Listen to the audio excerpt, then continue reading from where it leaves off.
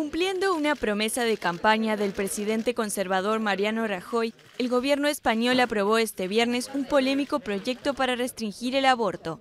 Según la nueva norma aprobada en el Consejo de Ministros, el aborto se autorizará solo en caso de peligro para la mujer o en caso de una violación.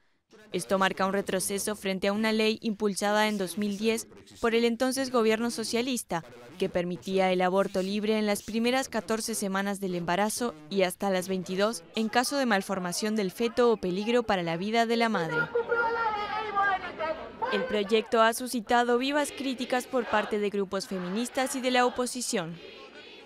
No se puede permitir que procede de esta manera porque ellos quieran y porque la Iglesia lo mande un retroceso de derechos que derechos que son fruto de luchas de años y años, de las luchas feministas, de las luchas de los movimientos de mujeres y que ha costado mucho en este país conseguir una despenalización del aborto. El cambio legislativo implica una vuelta a la ley de 1985, pero con más restricciones, ya que se elimina la posibilidad de abortar en caso de malformación del feto. La reforma debe ser ahora discutida en el Parlamento, donde sería fácilmente aprobada por la mayoría absoluta del oficialista Partido Popular.